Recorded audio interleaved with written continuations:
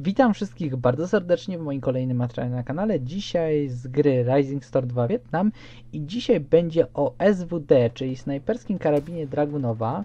Karabinie mi się wydaje całkiem udanym, całkiem przyjemnym w grze Rising Storm 2 Vietnam i ja wiem jakie jest podejście do większości graczy, którzy grają na snajperze e, bądź po prostu lubią snajpera, lubią grać tą klasą. E, Większość osób traktuje ich jako denerwujących kamperów. Jednak szczerze powiedziawszy, snajperzy na polu bitwy mają bardzo, bardzo istotną rolę. Oni mają zlikwidować przeciwnika, który stanowi problem dla żołnierza. Zresztą w Rising Stormie to nie jest tak, że właściwie tylko snajper się niekiedy kampi. Zazwyczaj można powiedzieć, każdy gracz poniekąd troszeczkę się kampi, dlatego że tutaj jeden strzał i do piachu. Kiedy gracze są nieostrożni, no to niestety, ale snajper ma łatwiejszą pracę, bo ostrożny gracz, który zna mapę, który wie, gdzie się ten snajper może ustawić, zazwyczaj omija te miejsca szerokim łukiem. Zazwyczaj y, snajper w Rising Stormie musi się postarać. To nie jest taka prosta klasa. To jest klasa, która w sumie też ma bardzo, bardzo istotną rolę. Ona może zadecydować o udanym szturmie lub o udanym, y, udanej obronie. Likwidacja karabinów maszynowych y, czy też likwidacja dowódców wielokrotnie może pozwolić nam na wprowadzenie skutecznego zamieszania i pewnego, można powiedzieć, rodzaju strachu w szeregach przeciwnika, przez co może się posypać e, cała operacja.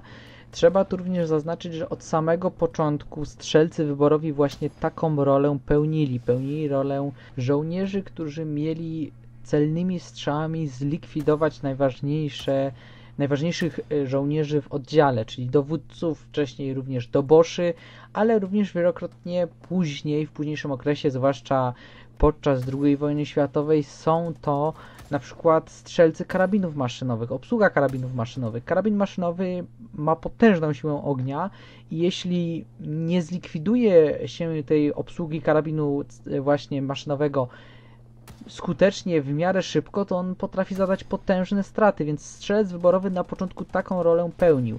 Dodatkowo tutaj z ich Stormie na niektórych mapach da się pełnić rolę takiego strzelca osłonowego, strzelca, który zadaje straty wrogowi na skrzydłach, dlatego że ten wróg zazwyczaj próbuje nas obejść, próbuje nas zajść z boku i właśnie do akcji przeciwdziałających atakowi wroga z właśnie z flanki, czy też y, działaniom na tyłach wroga dosłownie tak jak tutaj, jak najbardziej sprzyja wykorzystanie SWD. Prototyp tej broni to 1961. Ta broń jest produkowana od roku 1961 aż do teraz. Ona ma zwalczać skutecznie cele wielkości człowieka z odległości 1300 metrów. Nabój to 7,62 na 54R, jednak to jest zmodyfikowany nabój, to jest 7N1. On posiada rdzeń ołowiany i stalowy penetrator.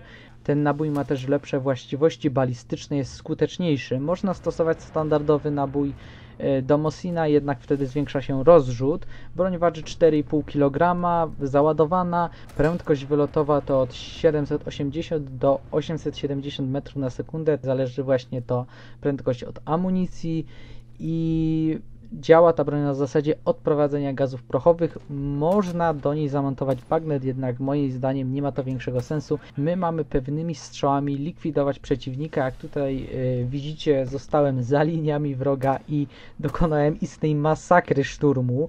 Ja się troszeczkę zaskoczyłem tym, że nikt mnie nie wyłapał. Ja usadowiłem się no, w dobrym miejscu, jednak mi się wydaje na spokojnie żołnierze mogli mnie zauważyć, zwłaszcza, że jeden stał dosłownie obok mnie jeśli mi się wydaje, był to początkujący gracz, to mógł mnie po prostu nie zauważyć. E, to się zdarza w Rising Stormie. Jednak tak czy siak mi się wydaje, fajna rozgrywka wyszła. SWD tutaj sprawił się naprawdę, naprawdę świetnie. Polecam tą broń. Nawet dla początkujących to była jedna z moich pierwszych bitew e, na snajperze. I SWD ma jeszcze jedną zaletę, to jest karabin samopowtarzalny i nie musimy po każdym strzale odrywać e, wzroku od celu. Ponadto mamy 10 pocisków w magazynku, więc to jest naprawdę spoko. Te pociski są naprawdę skuteczne, na naprawdę duże odległości jesteśmy w stanie likwidować przeciwnika jesteśmy w stanie strzelać do wrogich snajperów nie z takich małych odległości, ale naprawdę z dużych i osiągać naprawdę dobre efekty. Ja już powoli będę kończył. Napiszcie, jak Wam się podoba SWD. Czy graliście tą bronią w Rising Stormie? Jeśli tak, to jak Wam się ta broń podobała? Czy może graliście tą bronią w innych grach i tam też się również całkiem nieźle spisywała? Moim zdaniem to jest naprawdę dobra broń. Była używana przez wiele państw Układu Warszawskiego. Ja już powoli będę kończył. Jeśli film Wam się podobał, no to zostawcie lajka, zasubskrybujcie kanał. Komentarze jak zawsze są dla Was. Trzymajcie się ciepło. Do usłyszenia. No i cześć!